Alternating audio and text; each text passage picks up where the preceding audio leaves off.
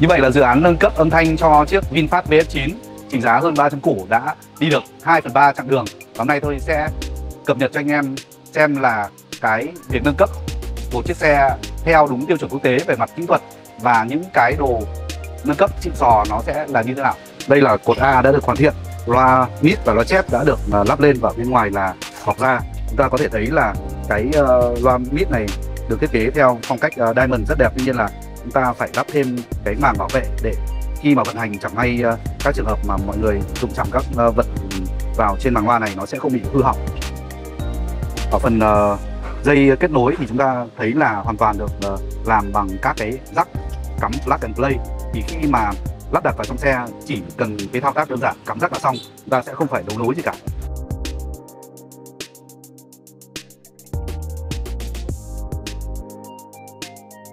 Đây là giáp kết nối của cái cột A khi mà lắp vào xe. Như vậy là chúng ta chỉ được cắm thôi không phải đấu nối hay là hàn chích gì cả.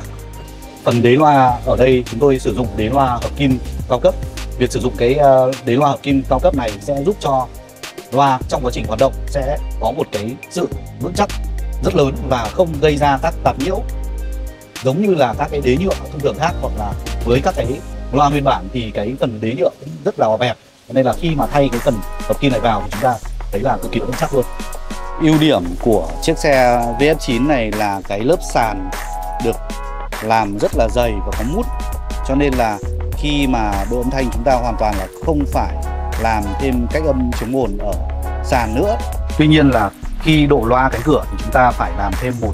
lớp damping ở đây để gia cố cho cánh cửa giúp cho cái kết cấu của cánh cửa như là một loa vững chắc phần dây nguồn và dây tín hiệu đã được đi xong ở phía dưới sàn xe. Chúng ta có thể thấy là ở đây các cái loại dây cũng được bọc uh, sát rắn cho nên là nó sẽ giảm thiểu cái độ can nhiễu giữa các dây với nhau và các dây cũng được uh, cố định bằng những ờ, uh, thít nhựa và bắt uh, rất là chắc chắn xuống dưới sàn. Thì trong quá trình đi sẽ không bị uh, lọc sọc do cái việc mà dây nó cọ sát vào nhau hay là nó va đập lên các cái phần sàn khác một thành phần không thể thiếu trong các cái cấu hình âm thanh cao cấp.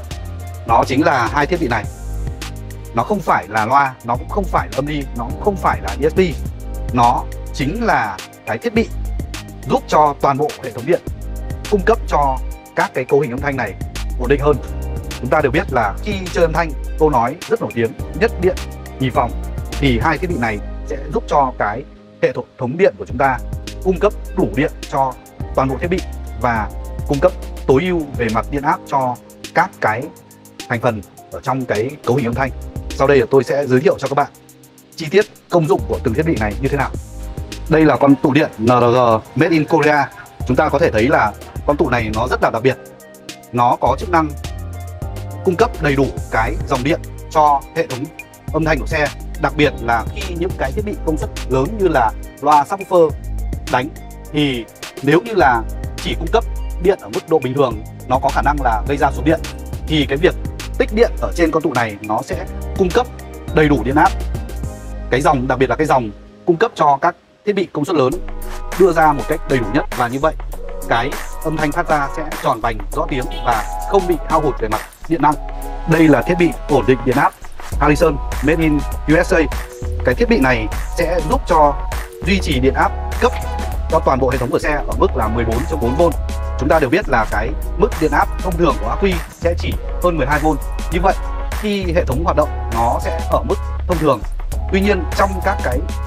hướng dẫn sử dụng thì cái đáp tuyến tần số nó sẽ đạt được cái hiệu quả tối ưu ở mức điện áp 14.4V thì với một thiết bị Harrison made in USA này, nó sẽ giúp cho cái điện áp cung cấp cho hệ, toàn bộ hệ thống âm thanh luôn ở mức ổn định là 14.4V do vậy, cái thiết bị ở trên xe luôn hoạt động ở cái mức tối ưu nhất và cho ra cái âm thanh tốt nhất cùng với một thiết bị. Con tụ điện NRG Made in Korea, ổn định dòng điện và thiết bị ổn định điện áp VSS Harrison Made in USA sẽ được lắp ở vị trí này để cung cấp cái nguồn điện ổn định cho toàn bộ hệ thống điện của xe. Nó rất là gọn, được lắp vào cái vị trí hốc của xe là như này. Như vậy là chúng ta có thể thấy một chiếc xe cao cấp được thi công theo đúng tiêu chuẩn quốc tế, nó sẽ được lắp đặt như thế nào và sử dụng những loại linh kiện gì. Nếu như các bạn có nhu cầu tư vấn một cái hệ thống âm thanh với một ngân sách nhất định mà cần thi công theo đúng tiêu chuẩn để đảm bảo cái chất lượng đầu ra được tối ưu nhất trong cái ngân sách của mình, phù hợp với chiếc xe của mình, thì hãy liên hệ với Vũ Cao Đô để có một cái phương án phù hợp nhất.